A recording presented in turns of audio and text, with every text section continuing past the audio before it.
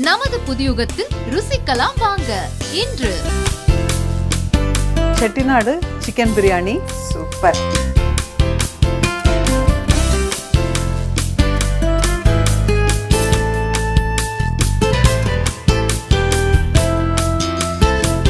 Aha super ma'am.